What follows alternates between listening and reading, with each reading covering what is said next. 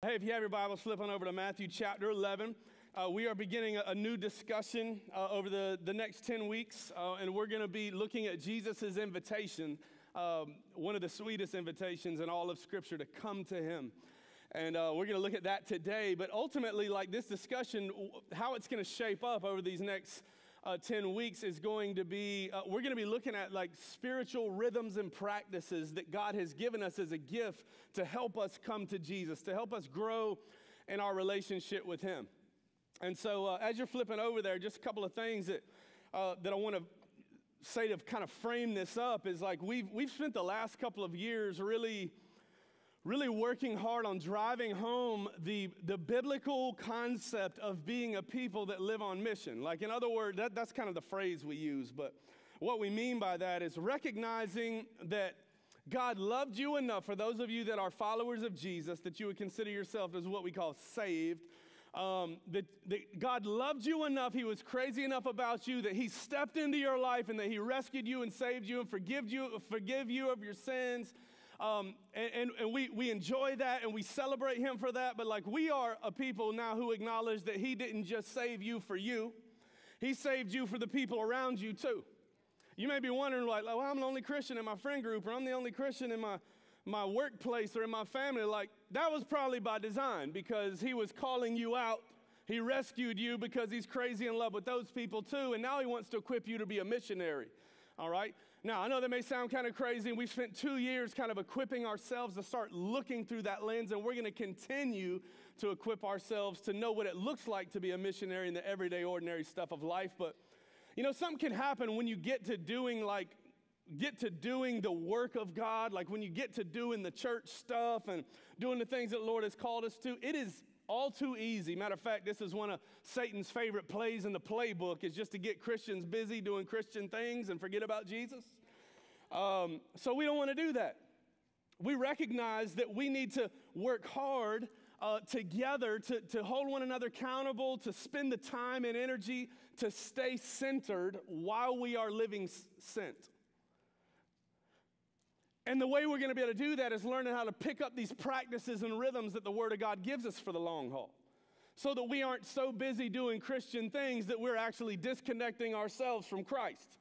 We want to stay abiding in the vine, clinging to the vine, holding tight to Him, retreating to the feet of the Father on a regular basis. He is the power source, the supply of life and hope and peace and everything that we need that pertains to life and godliness that Scripture tells us. And so, like, we need to do the work of having the conversation together of what it looks like to come to Him and the different vehicles that the Lord has given us so that we can come to Him. But, like, just so you know, like, I want to make sure we're looking at all this through the right lens. Uh, some of you, if you've grown up in the church world at all, you will probably heard these things referred to as spiritual disciplines. Now, this, that's kind of a wooden phrase, so we're going to go with spiritual practices and rhythms. Um, but essentially, I'm referring to spiritual disciplines. And, and that's going to be a lot of what shapes our conversation over the coming weeks. But let me just be like as clear as I can be with you about that right now. We are not calling our church family into implementing these spiritual disciplines into their life so that we can become more pleasing to God. That's not our goal. Okay? Here's the good news. Let me say that again because I know somebody just missed that and I missed it most of my life, so I don't want us to miss it anymore. We're not calling you into these spiritual disciplines so that you can learn how to become more pleasing to God. Here's the good news of the gospel He already delights in you, crazy about you. He is so enamored by your beauty that it actually got him off of the throne of heaven to come after us, to live with us, to die for us, so that we could be made right with him, so that our sins could be forgiven, so that we could be a part of God's family. He's crazy about you. So don't think reading your Bible or singing songs or showing up to church makes God delight in you more because it does not. He, he delights in you 100% of what He is ever going to delight in you, and it's all right now.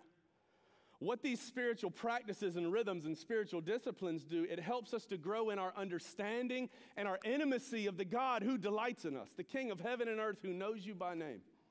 It helps us learn Him and draw near to Him and understand Him better. But now, I say all that.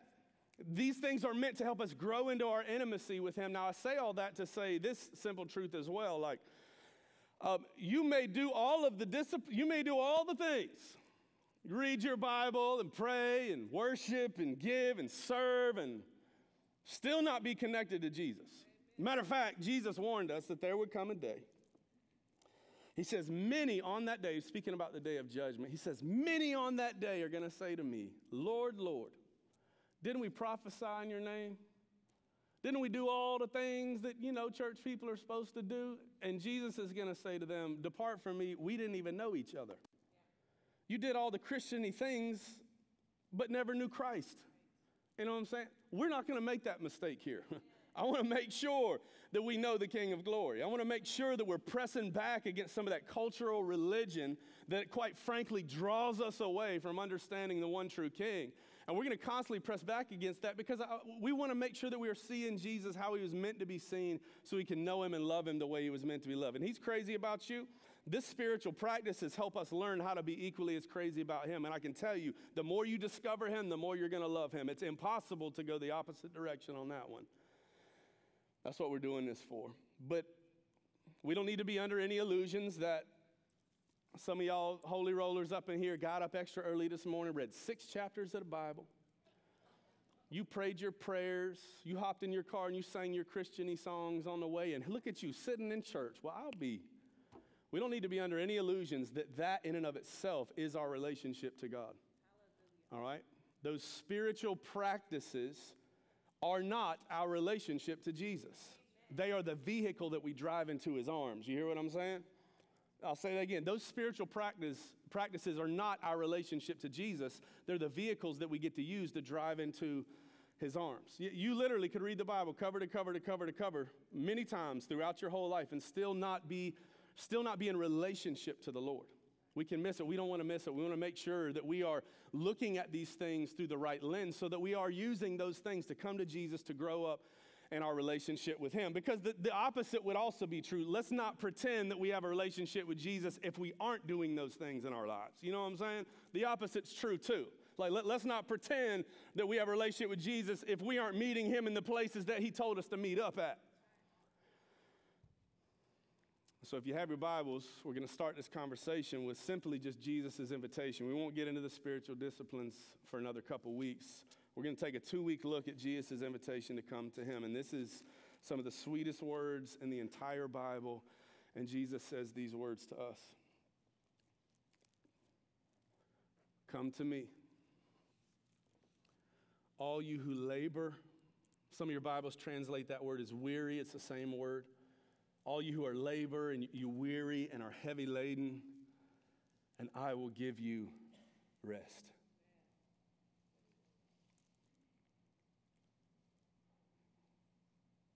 Let that soak in for just a second.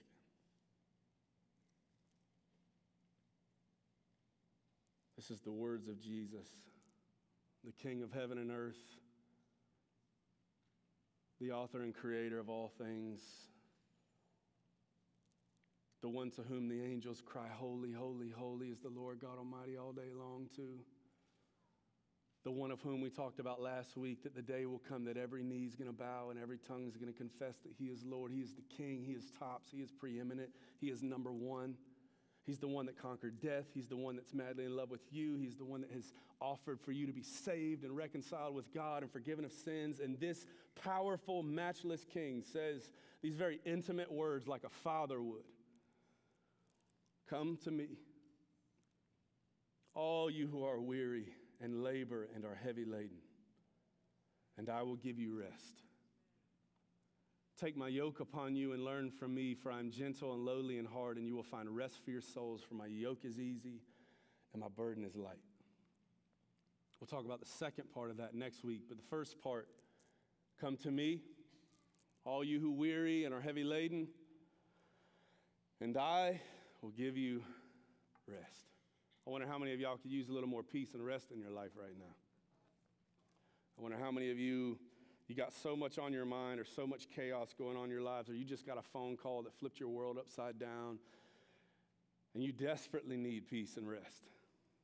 Well, Jesus said, when you come to me, I will give you rest.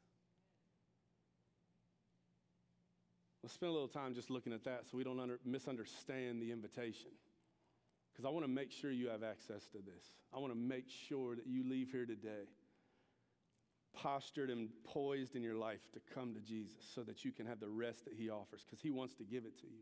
He wants you to find rest in Him. Trust me, God is not withholding peace and rest from you because He's, he's like trying to teach you something in your unrestless or in your restless state. Th- this, is, this is a promise that He wants to answer. It's not a promise to fix all of our circumstances. It's not a promise when you come to me, then I'll fix all the things that you wanted me to fix. Because if that was the case, if coming to Jesus meant that we could get out of him what we wanted from him, we would end up worship, worshiping the fact that we either got our bad circumstances fixed or whatever. We wouldn't learn to realize that he is enough. So we need to learn to come to him so that we can find peace and rest regardless of what our circumstances are in our life. Like that's real peace. Peace is not a storm being calmed. Peace is having rest even if it's storming. That's what peace looks like. And that's the kind of peace Jesus offers and model for us. And he says, Come to me. And when you do, I will give you rest. But I wanted to start because I know that there are many of us that could use this this morning. I wanted to make sure you knew exactly what criteria was necessary to be able to come to Jesus to get this peace and rest. Did you notice the list that he gave us? For those of you that want the peace and rest in order to come to Jesus, did you see the, did you see the criteria you have to meet? Uh, come to me. Uh, those who have a pretty good track record over the last couple months in their prayer life and church attendance and all that. No, that's not what it said. Uh, come to me. All of you who've been being good boys and girls and, you know, hadn't said too many wordy dirds lately, you know. Y'all been behaving pretty good. Y'all come to me.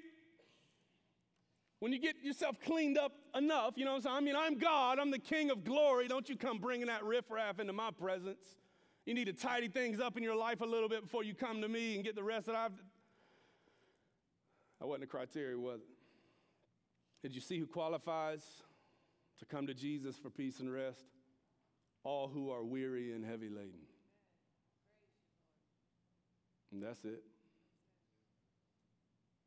Whether you've been walking with Jesus for decades or whether you just stumbled across this video online or stumbled in here this morning and you're wondering if God would ever accept you or take you back or be willing to offer to you what he has, uh, there's your answer. Come to me. You weary and heavy laden? That's, that's all it takes. The prophet Isaiah even told us when God spoke, he says, Come to me, all you who are thirsty. Even those of you that can't afford to buy what I have to give, you wouldn't be able to afford it anyway. Just come to me and I'll give you rest. You'll find rest in me. You know, one of the big mistakes that we make, and this is a, a tension that we're going to wrestle th- through throughout this conversation that we're having. One of the big mistakes that we make when it comes to trying to find the peace and rest that only Jesus can offer is believing that we will find that peace and rest in either a practice or a place. Let me say that again. One of the big mistakes we make is believing that we're going to find the rest of Jesus in either a practice or a place. Some of y'all came here this morning because you needed some peace and rest in your life. Things got so chaotic. So something in you said, you know what, go to church because once you get to that place, then you'll be able to find some rest and peace there. Uh, some of you may have whipped out your Bible this morning or may have thrown on some Christian music on the radio on your way in because you were convinced, like something told you, like, well, if I just if I just start doing this practice or this habit differently, then I'll be able to find some peace and rest there. But if you'll notice what Jesus says right here, that you can't find peace and rest in a practice, you can't find peace and rest in a place. You can only find it in a person. So he says, Come to me. He doesn't say, Go to church. He doesn't say, Pick up that book. He doesn't say, Listen to that podcast. He doesn't say, Call that preacher. Heck, you've already tried half of that anyway. No, he says, Come to me. Come to me. Bypass all of the resources so you can arrive on the shore of the source where peace and rest really is. Come to me. You know, it's, it's funny that I would call that a mistake. One of the biggest mistakes we make is thinking we're going to find peace and rest in a practice or a place because funny thing is, this whole series is going to be built around spiritual practices and rhythms. And so it's like, there's the tension. That's why I want to make sure that we know, and you're going to hear this on repeat, those practices are not our relationship to Jesus. They're just the vehicles we drive into his arms. You hear that? Th- those practices, us doing the things or us going to the locations, that's not our relationship with Jesus. Checking the box is not our relationship with Jesus. These are just the vehicles that he's given us to drive into his arms so we can come to him. You know, how we make that mistake often is we search his word for answers instead of searching his word for him. Oh, but you read the Bible. Kudos to you, you know what I'm saying? I read the Bible six times this week. Were you searching the word for answers or were you searching the word for him? Oh man, dude, I, I love the songs that we were singing in church. I really sang out with all of my heart this morning. Were you singing them because you love the song, or were you singing them because you were seeing Jesus or searching for him? You see, we can do all the things and still totally miss the King of Glory in the process. This is why we don't want to make this mistake, mistake as a church family. We want to be reminded Jesus is not in a place, it's not in practice. Jesus is a person and his rest is found in his person. This is why he says, Come to me. This is why, on repeat throughout the scriptures, he tells us, John 15, Abide in me and I'll abide in you. He says, Abide in me. In Matthew chapter 11, he says, Come to me. Haven't you already tried everything else, Grace Bible? I mean, did, why, why is it that, like, so many Christians have bookshelves riddled with Christian literature? of explanations and strategies on how to will yourself into a place of peace and rest in your life, but yet so many Christians are still so daggum restless because they don't work. It's the grace of God to let all of our other props be knocked out from under us so we recognize that only He is enough. That's one of the greatest mysteries to be revealed in the life of any Christian. And for some of us, it takes us a lifetime to get it. But I'm just praying that the Holy Spirit would allow the light switch of your heart to flick on this morning and recognize like that there is no other way to be satisfied and there is no other way to find peace and rest but to come to him. Because I bet you've already been there and done that, hadn't you? I mean, you read the book, you watched the video, you met with the preacher,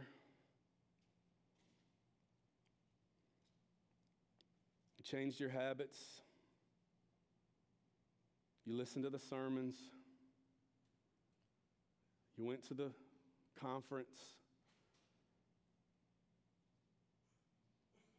And it's Jesus saying right here, like, hey, you've tried all that already and didn't work, did it? So since you've gone there and done that, why don't you come here and come to me? You know, it's funny, right before Jesus tells us these words, before he gives us this beautiful invitation, he actually reveals a secret of heaven and a secret of the way God works before he even gives the invitation. And I call this a secret because, quite honestly, it's going to be so profound and counterintuitive to the average Bible thumping churchgoer that we're going to just like graze right past this and miss the fact that this kind of precedes his invitation to come to him to find peace and rest. And this is the secret that Jesus tells us. He says in verse 25, at that time, Jesus declared, I thank you, Father, Lord of heaven and earth, that you have, listen, you have hidden these things from the wise and understanding and revealed them to little children. Look at that for just a second. I thank you, God, that you've hidden these things from the wise and understanding and you just revealed them to babies. You know why we can't find peace and rest, oh Christ follower? Because you know too daggone much. You read too much junk. You've heard way too many sermons. You've watched way too many Christian movies and heard way too many Christian songs. And because of that, you are so wise and understanding that you are missing the presence of Jesus. And we can't find his peace and rest because it's like we feel like he can be found in the resources and we forget that he is the source. That's it. Like we got to go to him. You know what that also tells me? That we let religious people talk us right out of our peace and rest all the time.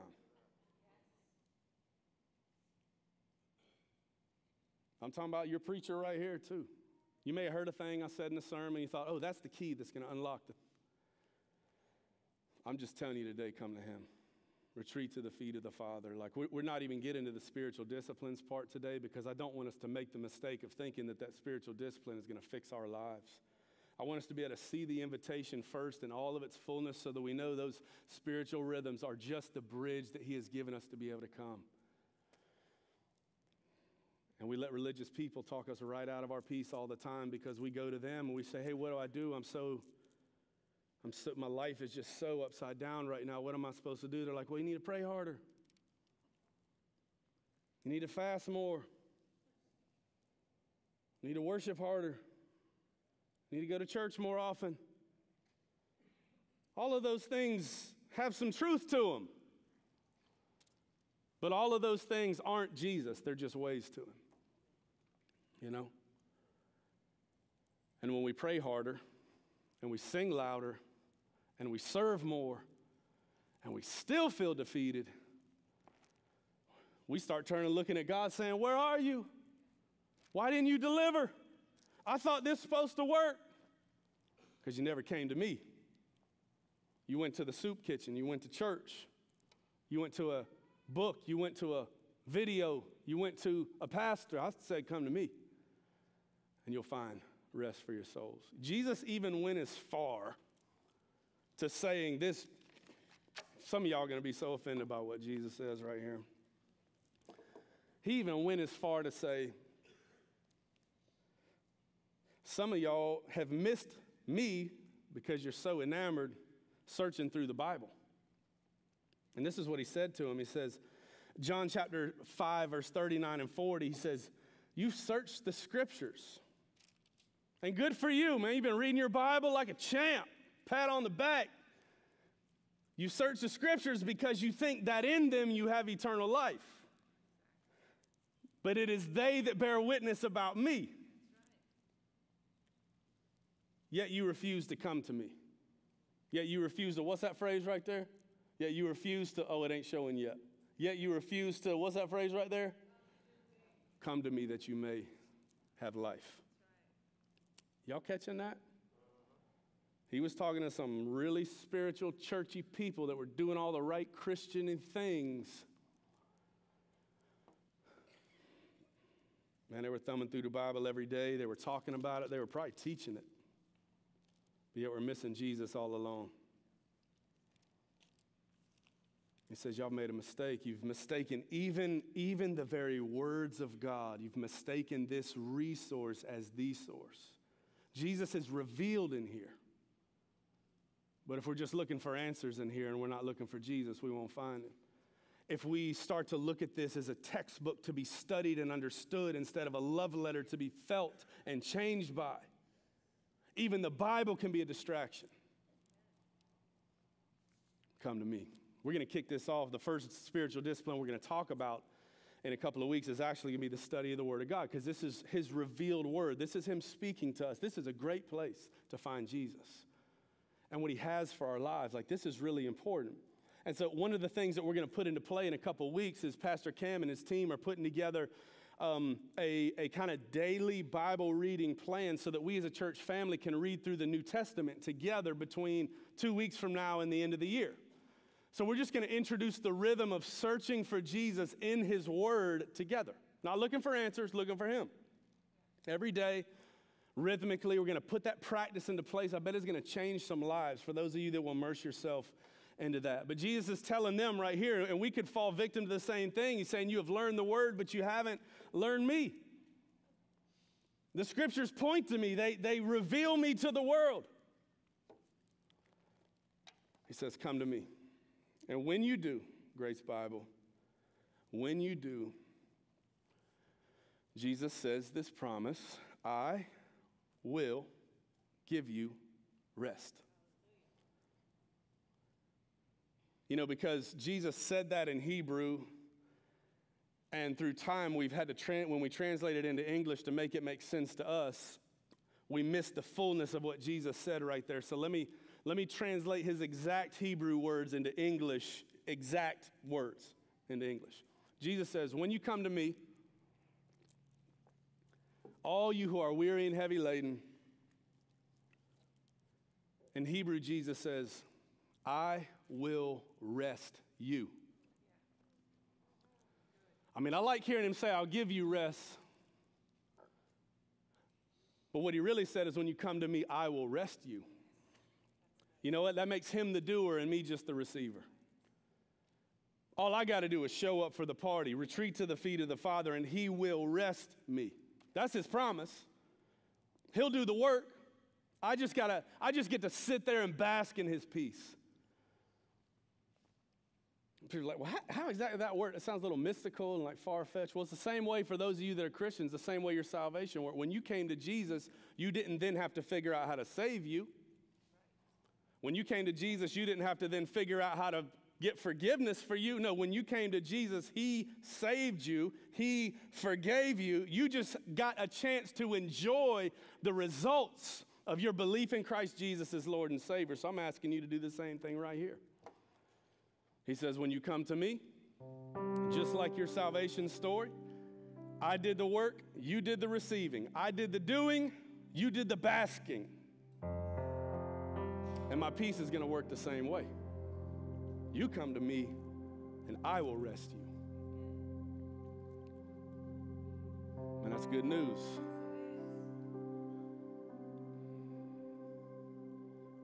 Because if you're anything like me, by the time I get to Jesus, I'm so weary that if there was anything else that I had to do, I wouldn't be able to do it. I'm so weary because I tried so many other ways.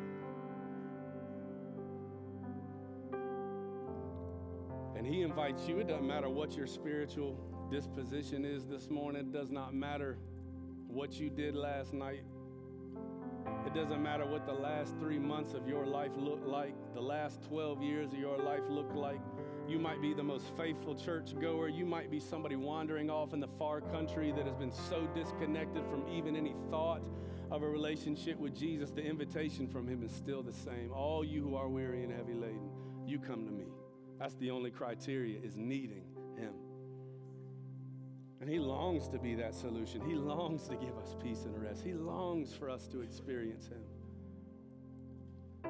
He longs for the day that we go through all the ups and downs and hardships of life, that we finally come to the realization that Jesus is enough. That's why it is the love of God it is the love of God in your story to let things unravel. God's first priority in your life is not comfort, it's not happiness, it's transformation and holiness. And if you anything like me, the only way I'm going to change is if it starts to hurt. The love of God to allow our lives to slip into the crucible of crisis. Because it is in that place that God does his greatest work in us.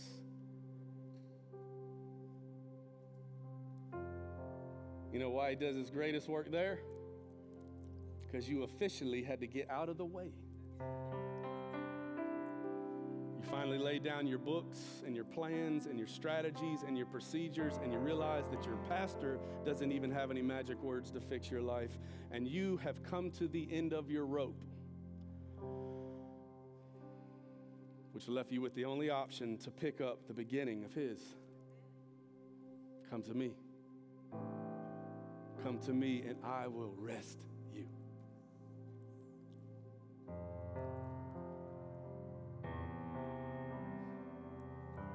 think we need to spend a few minutes this morning just coming to Jesus.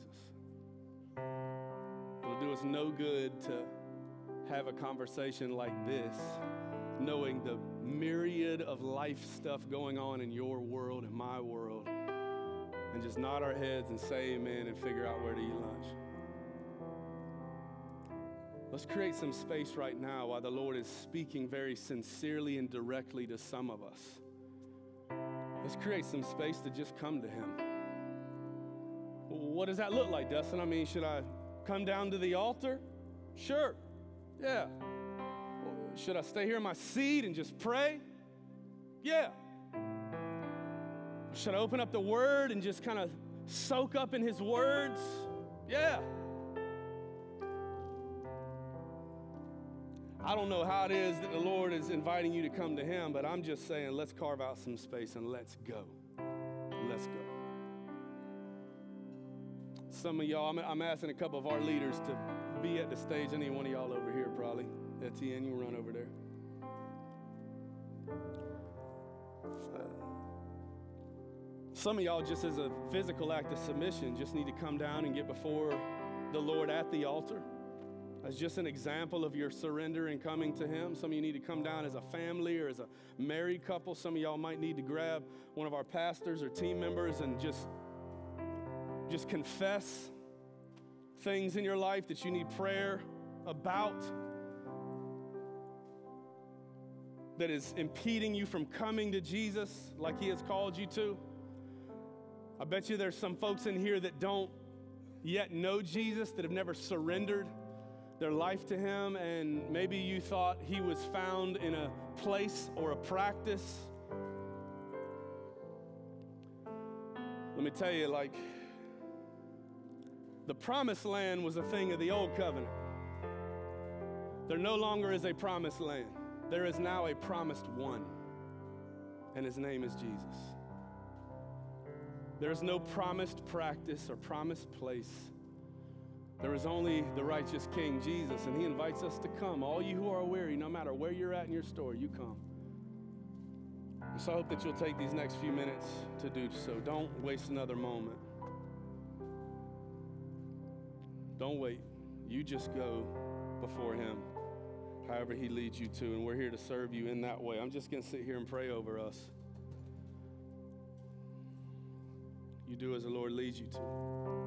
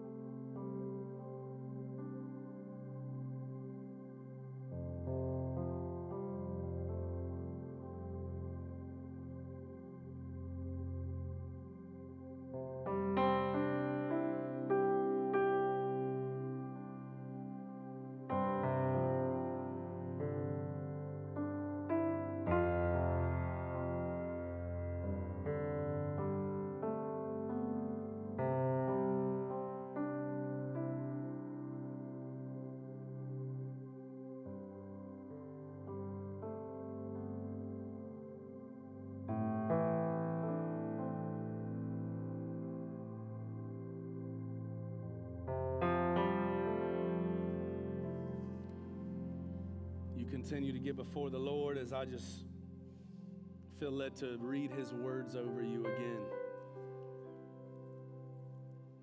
Come to me, all you who labor, who are tired and weary and wounded and defeated. All of you, right now, whoever is weary and heavy laden, come to me and I will give you rest. Take my yoke upon you and learn from me, for I am gentle and lowly in heart, and you will find rest for your souls. For my yoke is easy and my burden is light.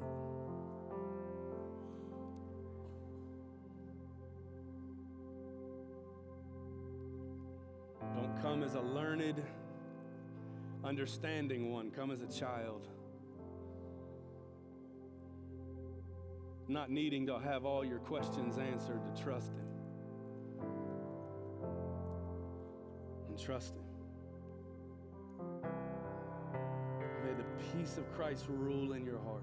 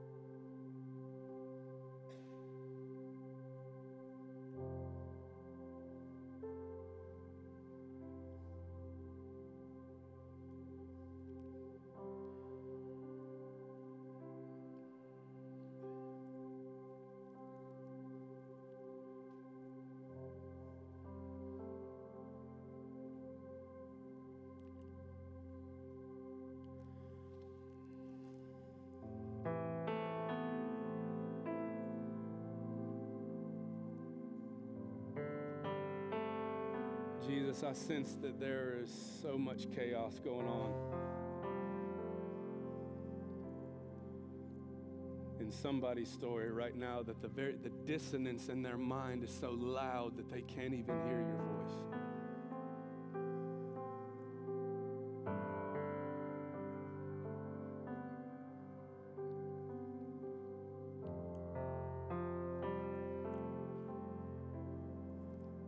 Holy Spirit, would you break through the fog and the noise?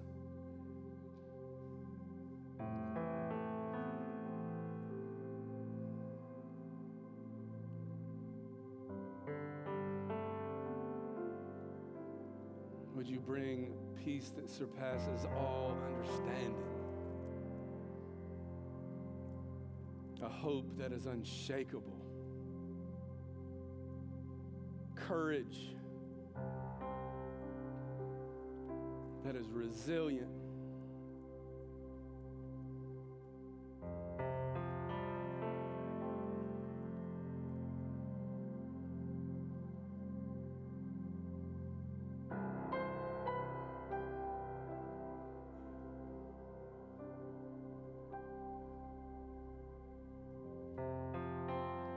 Lord, I know that you have promised that you are with us and you are in us.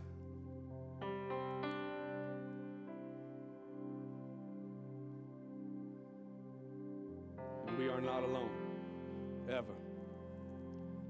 For those that claim Christ Jesus as Lord and King, we are not alone.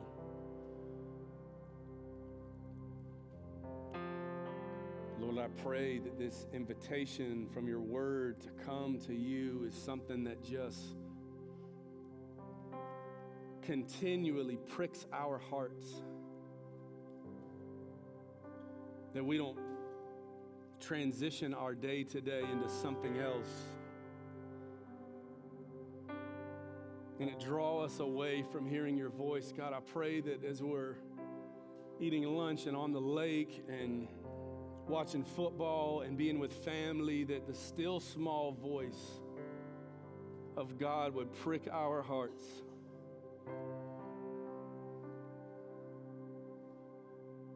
Over and over and over and over again, come to me.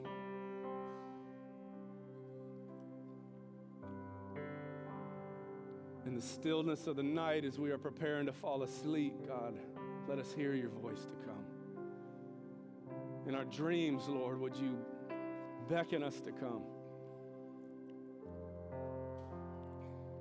We need peace and rest, and we have been taught to find it in every other avenue, and they have all failed.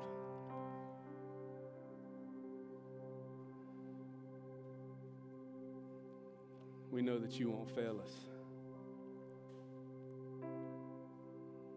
But we haven't been taught how to get to you. Would you show us? Would you draw us in? Would you wrap your arms around us? Would you cling to us as we cling to you? And we thank you for your work and your love. There is none like you. Lord, change us for your glory. Restore us. Give us peace. Give us help. Give us comfort in you and in nothing else. In Jesus' name we pray. Amen. Amen. Amen. Amen. Uh, yeah, you, you need to come up here and tell us some things, but while you're coming up here to tell us some things, Chris, um, I forgot to tell y'all something that's pretty awesome. It was actually supposed to be a part of the sermon, and then I just got, you know, thinking about the sermon stuff. But um, we are, I'm excited to announce to you guys that, you know, we've, we've been calling our church family Live on Mission. I love to share missional stories. I don't want to miss this opportunity. But um, you, it's, we've got a lot of Christian coaches in our community. And um, that really take that as their mission field the families, the coaches, the kids that play on their team. Uh, and one really cool story that has happened recently is uh, Lake Placid football coaches um, several of which call this their church home and they attend here. One of which is a deacon this weekend. You'll see him out there. He's the, you know, studly Jack looking dude, looks like a football player. Well, they decide, you know, it's hard for our kids to get to church on Wednesday nights after practice because it's just a quick turnaround once you get cleaned up. And most of the kids aren't going to church anyway, so why don't we just start having some church for the kids that want to come? These are football coaches now, not preachers, not missionaries, football coaches who recognize their kingdom calling to be a missionary said, let's just start having church. We'll share devotional time. We'll talk about the Lord. We'll have a meal with the kids. So they decided to start doing this in their home. And this has been going on for two weeks. Week one, um, Coach White, the head football coach at Lake Placid, uh, after their time of Bible study, shared the gospel with his football players. There were 12 students there um, that showed up for that. 12 of those kids confessed Jesus Christ as their king for the first time in their life. But wait, there's more. So, so these kids, little evangelists, started telling their other friends at, at practice, man, you got to come to Coach White's house on Wednesday night. You know, they feed us pizza, we talk about God, and like, you got to come. It's pretty cool. You know, we throw Coach White in the pool, all the good stuff. And so they did. So there was 24. I, so I got to go this past week just to observe on Wednesday night. 24 kids showed up. Eight more kids after the gospel was presented accept Jesus Christ the Lord. So listen, listen to this. Let me, let me tell you. So at Lake Placid High School football team, 20 kids have crossed from death to life in the last 10 days. 20 kids on a football team. So we celebrate that. That's why, that's why we've got to stay centered while we're living sent. Because now the work is discipling these kids to grow in their relationship with Jesus. We're going to be planning a baptism service just for those kids. Um, I'd love to do it here, but I think that's going to be too complicated, so we're probably going to end up doing it at the Lake Placid football field uh, here in the next few weeks or so. We're going to do a baptism class with all those that confess Jesus. We're going to have a big old fat baptism service, offer a giant meal for them and their families. I'll let you know the details when I know it, but I just had to tell you that God is still doing extraordinary things. And He's doing them in the next generation, the leaders of tomorrow. And so I celebrate that. Let's celebrate and give thanks to the Lord for that as I pass it off to Chris.